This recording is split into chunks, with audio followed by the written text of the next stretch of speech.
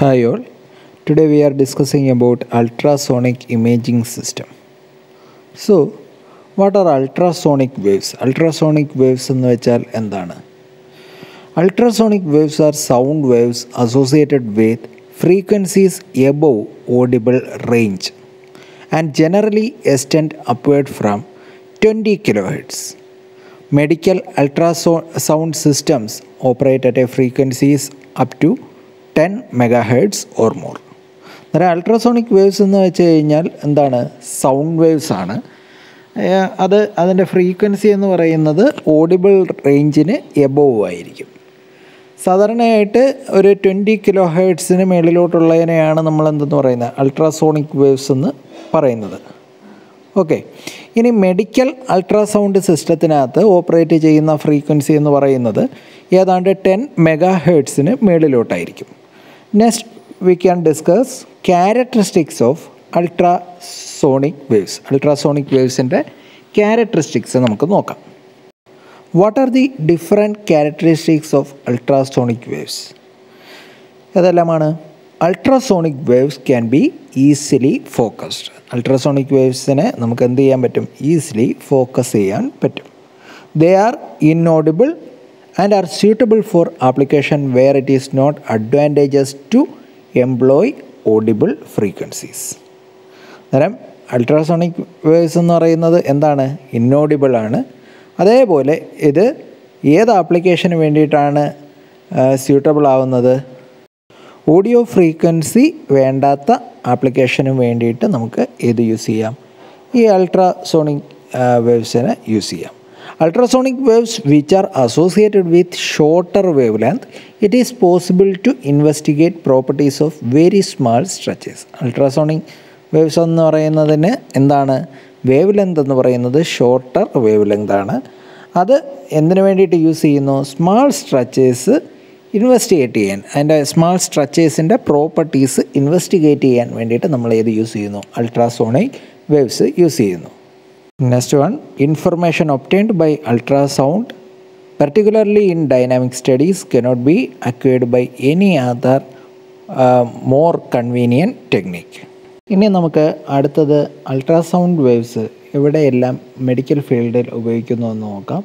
The use of ultrasound in medical field can be divided into two major areas രണ്ട് major areas ആയിട്ട് നമുക്ക് അൾട്രാസൗണ്ടിന്റെ medical ഫീൽഡിലുള്ള ഉപയോഗത്തെ നമുക്ക് വിലയിരുത്താം. ഒന്നെന്ന് പറയുന്നത് തെറാപ്പിക് സെക്കൻഡ് വൺ എന്ന് പറയുന്നത് ഡയഗ്നോസിസ് ഇത് തമ്മിലുള്ള ഡിഫറൻസ് എന്താണെന്ന് വെച്ച് കഴിഞ്ഞാൽ ഈ അൾട്രാസോണിക്കിന്റെ പവർ ലെവൽ ഈ രണ്ട് ഓപ്പറേഷനും എന്ന് വെച്ചാൽ തെറാപ്പിക്കിനും ഡയഗ്നോസിസിനും ഡിഫറന്റ് ആയിരിക്കും.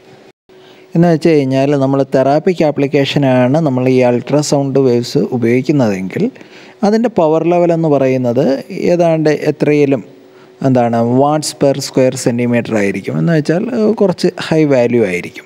അതേസമയം നമ്മൾ ഡയഗ്നോസിസ് എക്യുപ്മെന്റിലാണ് നമ്മൾ ഓപ്പറേറ്റ് ചെയ്യുന്നതെങ്കിൽ ഈ പവർ ലെവൽ എന്ന് പറയുന്നത് hundred in watts per centimetre ക്യൂവിന് below ആയിരിക്കും.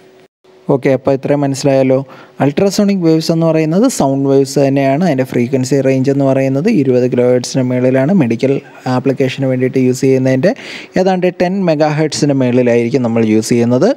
പിന്നീട് അതിന്റെ കുറച്ച് ക്യാരക്ടറിസ്റ്റിക്സ് എന്തൊക്കെയായിരുന്നു? ഈസിലി ഫോക്കസ്ഡ് ആണ്. പിന്നെ എന്താണ് ഇന്നോഡിബിൾ ആണ്. അതുകൊണ്ട് ഓഡിബിൾ അല്ലാത്ത ഫ്രീക്വൻസീസ് വേണ്ടിയിട്ടുള്ള ആപ്ലിക്കേഷന് വേണ്ടിയിട്ട് നമ്മൾ യൂസ് ചെയ്യുന്നു.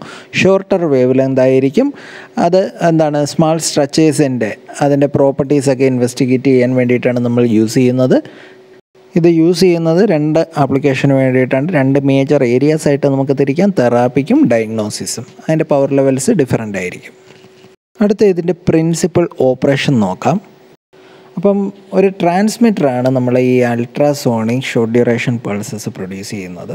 എന്നിട്ട് അതിനെ ടാർജറ്റിലോട്ട് പാസ് ചെയ്യുന്നത് എന്ത് യൂസ് ചെയ്താണ്? നമ്മളൊരു ട്രാൻസ്ഡ്യൂസർ യൂസ് ചെയ്താണ് അതിനെ ടാർജറ്റിലോട്ട് പാസ് ചെയ്യുന്നത്.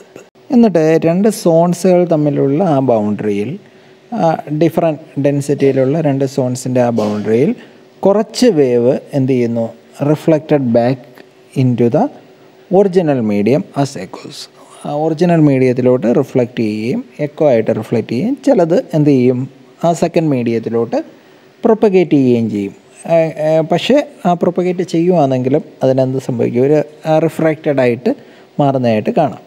അപ്പം നമ്മൾ കുറച്ച് എന്ത് ചെയ്യുന്നു എന്ന് പറഞ്ഞു? റിഫ്ലക്റ്റഡ് ആയി വരുന്നു എന്ന് പറഞ്ഞു. ഒറിജിനൽ മീഡിയത്തിലോട്ട് എന്തായിട്ടാണ് എക്കോസ് ആയിട്ട് വരുന്നു എന്ന് പറഞ്ഞു. ഈ എക്കോസ് ആയിട്ട് വരുന്നത് ആ സെയിം ട്രാൻസ്ഡ്യൂസർ ഉപയോഗിച്ച് തന്നെ നമ്മൾ നേരത്തെ ട്രാൻസ്മിറ്റ് ചെയ്യാൻ വേണ്ടിയിട്ട് ടാർജറ്റിലോട്ട് നമ്മൾ പാസ് ചെയ്യാൻ വേണ്ടിയിട്ട് നമ്മളൊരു ട്രാൻസ്ഡ്യൂസർ യൂസ് ചെയ്തല്ലോ ആ സെയിം ട്രാൻസ്ഡ്യൂസർ യൂസ് ചെയ്ത് തന്നെ ഈ എക്കോസിനെ എന്ത് ചെയ്യുന്നു? പിക്ക് ചെയ്യുന്നു. ആ കളക്ട് ചെയ്യുന്ന എക്കോസിനെ പിന്നീട് എന്ത് ചെയ്യും? സ്യൂട്ടബിളായിട്ട് ആംപ്ലിഫൈ ചെയ്യുകയും അതൊരു സി ആർ ടിയിൽ അല്ലെങ്കിൽ കാതോട്രേ ട്യൂബിൽ ഡിസ്പ്ലേ ചെയ്യുകയും ചെയ്യും. അപ്പം ഇവിടെ നമ്മുടെ വെലോസിറ്റി ഓഫ് സൗണ്ട് ഒരു പർട്ടിക്കുലർ മീഡിയത്തിൽ ഉള്ള വെലോസിറ്റി ഓഫ് സൗണ്ടിന്റെ ഒരു ഡീപ്പ് നോളജ് ആവശ്യമാണ്. എന്ത് കാൽക്കുലേറ്റ് ചെയ്യാൻ? എത്ര മാത്രം നമ്മുടെ സൗണ്ട് വേവ് സൗണ്ട് വേവ് എത്ര മാത്രം പെനിട്രേറ്റ് ചെയ്തു? എത്ര ഡെപ്തിൽ പോയി എന്ന് കാൽക്കുലേറ്റ് ചെയ്യുന്നതിന് നമുക്ക് എന്താ ഈ വെലോസിറ്റി ഓഫ് സൗണ്ടിനെ പറ്റിയൊരു നോളജ് ഉണ്ടായിരിക്കണം. The knowledge of velocity of sound in a particular medium is important in calculating the depth of uh, depth to which the sound wave has penetrated before being reflected നമുക്ക് ഈ പറയുന്ന കാര്യങ്ങളൊക്കെ ഉണ്ടെങ്കിൽ നമുക്ക് depth of penetration നമുക്ക് കണ്ടുപിടിക്കാൻ പറ്റും if the time taken by the ultrasonic wave to move from its സോയ്സ് through a medium reflect from an inter, uh, interface and return to the source can be measured. Then the depth of penetration is given by depth of penetration is equal to velocity of sound in medium into time by 2 the reduction of amplitude of ultrasonic beam while passing through a medium can be due to its absorption reflection refraction scattering and diffraction etcetera അപ്പം ultrasonic ബീമിന്റെ ബീമിന്റെ ആംപ്ലിറ്റ്യൂഡിനുണ്ടാകുന്ന reduction എന്ന് പറയുന്ന ഏതെല്ലാം മൂലമാണ്? അബ്സോർഷനും റിഫ്ലക്ഷനും റിഫ്രാഷനും സ്കാറ്ററിങ്ങും ഡിഫ്രാഷനും എല്ലാം മൂലമാണ് ആ ഒരു റിഡക്ഷൻ സംഭവിക്കുന്നത്. This is the block diagram of basic pulse echo system the main blocks are pulse repetition frequency generator time delay sawtooth generator transmitter swept gain time maker time marker wide band amplifier detector video amplifier gain control പിന്നെ transducer പിന്നെ ഒരു C R T ഉണ്ട്. These are the main blocks of a basic pulse echo system so നമുക്ക് ഓരോന്നായിട്ട് നമുക്ക് discuss ചെയ്യാം. അതിനകത്ത് first block നിങ്ങൾ കാണുന്നില്ലേ? ഒരു pulse repetition frequency generator what is the use of pulse repetition frequency generator ഈ യൂണിറ്റ് എന്തിനാണ് യൂസ് ചെയ്യുന്നതെന്ന് വെച്ചാൽ this unit produces a train of pulses which control the sequence of events the P R F is usually kept between five hundred hertz to three kilohertz അന്നേരം ഇത് നമ്മുടെ ഇതിനകത്തുള്ള ആ ഇവൻസിനെ control ചെയ്യാൻ വേണ്ടിയിട്ടാണ് നമ്മൾ പി ആർ എഫ് യൂസ് ചെയ്യുന്നത്. ഇതെന്ത് പ്രൊഡ്യൂസ് ചെയ്യും? പൾസ് ട്രെയിൻസ് പ്രൊഡ്യൂസ് ചെയ്യും. ഈ പൾസ് ട്രെയിനിന്റെ ഫ്രീക്വൻസിക്ക് കറസ്പോണ്ടിങ് ആയിട്ടായിരിക്കും ഓരോരോ ഇവന്റായിട്ട് പ്രൊസീഡ് ചെയ്ത് പ്രൊസീഡ് ചെയ്ത് പോകുന്നത്. അതിന് വേണ്ടിയിട്ടാണ് നമ്മൾ എന്ത് യൂസ് ചെയ്യുന്നത്? Pulse repetition frequency generator use ചെയ്യുന്നത്. അതിന്റെ ഫ്രീക്വൻസി എന്ന് പറയുന്നത് five hundred hertz to three kilohertz ആയിരിക്കും ഇതിന്റെ ഫ്രീക്വൻസി ഇനി അടുത്ത ബ്ലോക്കാണ് ഒരു ട്രാൻസ്മിറ്റർ ഉണ്ട് transmitter the transmitter is driven by a pulse from the P R F generator അന്നേരം ഈ ട്രാൻസ്മിറ്ററിനെ ഡ്രൈവ് ചെയ്യിപ്പിക്കുന്ന എന്താണ്? പി ആർ എഫ് ജനറേറ്ററിൽ നിന്ന് വരുന്ന പൾസസ് ആണ് ട്രാൻസ്മിറ്ററിനെ drive ചെയ്യിപ്പിക്കുന്നത്. Next receiver the function of the receiver is to obtain the signal from the transducer റിസീവറിന്റെ function എന്താണ്? ട്രാൻസ്ഡ്യൂസറിൽ നിന്ന് സിഗ്നലിനെ ഒപ്റ്റെയിൻ ചെയ്യുക എന്നുള്ളതാണ് ഇതിന്റെ function? റിസീവറിന്റെ function. Next is wide band amplifier. Wide rand എന്നാണോ കാണുന്നത്. വൈഡ് ബാൻഡ് ആക്കണം കേട്ടോ wide band amplifier. Amplifies the detected ultrasonic pulses and removing the noise due to wide dynamic range of echo amplitudes that are contained in an ultrasonic image. A log amplifier ഈസ് usually utilised. അന്നേരം നമ്മൾ ഇതിനകത്ത് സാധാരണയായിട്ട് use ചെയ്യുന്നത് ഒരു log amplifier ആണ്. അപ്പം ഇതിന്റെ ഫങ്ഷൻ എന്ന് പറയുന്നത് ആ വരുന്ന സിഗ്നലിനെ എന്ന് വെച്ചാൽ ആ തട്ടി തിരിച്ചു വരുന്ന ആ എക്കോ സിഗ്നൽസിനെ അതിനകത്ത് അതിനെ ആംപ്ലിഫൈ ചെയ്യുക എന്നുള്ളതാണ്. അതിനകത്താണ് നമ്മുടെ എന്തുള്ളത്? അൾട്രാസോണിക് ഇമേജ് ഉള്ളത്. അതുകൊണ്ട് ആ എക്കോയെ ആംപ്ലിഫൈ ചെയ്യുക എന്നുള്ളതാണ് നമ്മുടെ ഏതിന്റെ ഫങ്ഷൻ വൈഡ് ബാൻഡ് ആംപ്ലിഫയറിന്റെ ഫങ്ഷൻ ഓക്കെ. അന്നേരം amplifies the detected ultrasonic pulses and removing noise okay ഇനി അടുത്ത സ്വെപ് ഗെയിൻ കൺട്രോൾ ഉണ്ട്. Adjust the amplification of the detected ultrasonic pulses depending അപ്പോൾ ദ ഡെപ്ത് ഓഫ് റിഫ്ലക്ഷൻ അന്നേരം ഇത് ആംപ്ലിഫിക്കേഷൻ അല്ലെങ്കിൽ അതിന്റെ ഗെയിൻ കൺട്രോൾ ചെയ്യുകയാണ്. എന്ന് വെച്ചാൽ ആംപ്ലിഫിക്കേഷനെ കൺട്രോൾ ചെയ്യുകയാണ് ആംപ്ലിഫിക്കേഷനെ അഡ്ജസ്റ്റ് ചെയ്യുകയാണ്. എന്ന് വെച്ച് കഴിഞ്ഞാൽ നമ്മുടെ ഡെപ്ത് ഓഫ് റിഫ്ലക്ഷനെ ബേസ് ചെയ്തിട്ട്. ഓക്കെ അടുത്ത detector detector converts the pulse of pulse to video signals it is then amplified by video amplifier and displayed on to C R T screen അന്നേരം ഡിറ്റക്ടർ എന്താ ചെയ്യുന്നത്? നമ്മുടെ ഈ പൾസസ് അതിനെ എന്താക്കി മാറ്റും? വീഡിയോ സിഗ്നൽസ് ആക്കി മാറ്റും. എന്നിട്ട് ഈ വീഡിയോ സിഗ്നലിനെ ആംപ്ലിഫൈ ചെയ്യുകയും വീഡിയോ ആംപ്ലിഫയർ യൂസ് ചെയ്ത് ആംപ്ലിഫൈ ചെയ്യുകയും അതിനെ സി ആർ ടിയിൽ ഡിസ്പ്ലേ ചെയ്യുകയും ചെയ്യും. ഇനി രണ്ടെണ്ണം ഉണ്ടല്ലോ. A time delay unit and a sweep generator are used for the horizontal channel of C R T to display okay ഇതാണ് these are the functions of different blocks ഇനി അടുത്ത് നമുക്ക് ഈ മെത്തേഡ് ഓഫ് പ്രൊപ്പഗേഷൻ നോക്കാം.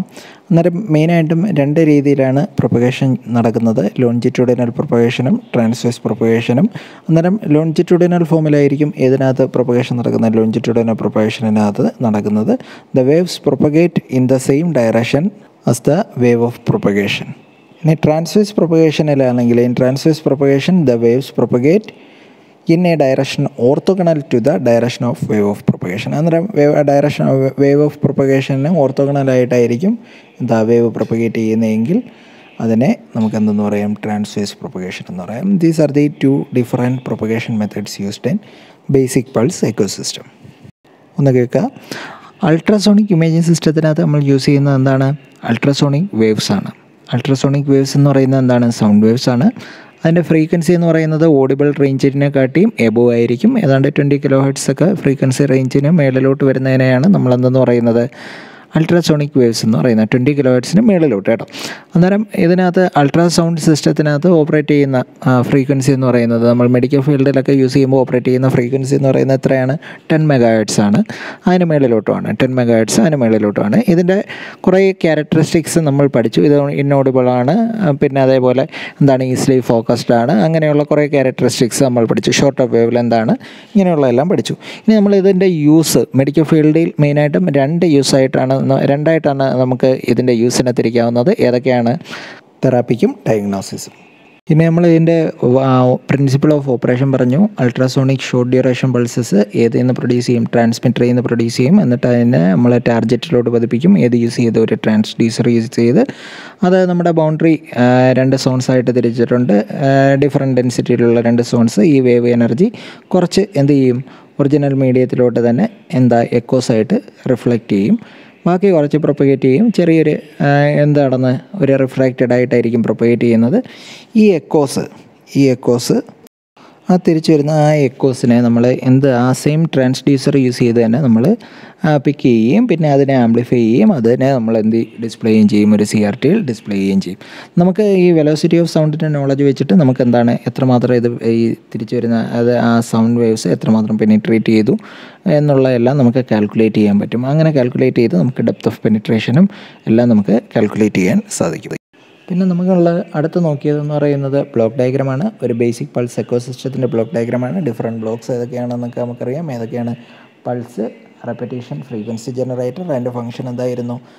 Pulse train produce ചെയ്യാൻ വേണ്ടിയിട്ടാണ് ഈ pulse train എന്ന് പറയുന്നത്. ഓരോ ഇവൻസിനെ കൺട്രോൾ ചെയ്ത് സീക്വൻസ് ഓർഡറിൽ ഓരോ ഇവൻസ് നടത്താൻ വേണ്ടിയിട്ടാണ് നമ്മൾ pulse repetition frequency generator use ചെയ്യുന്നത് അതിന്റെ ഫ്രീക്വൻസി എന്ന് പറയുന്നത് ഫൈവ് ഹൺഡ്രഡ് ഹെഡ്സിനും ത്രീ കിലോ ഹെഡ്സിനും ഇടയിലായിട്ടായിരിക്കും.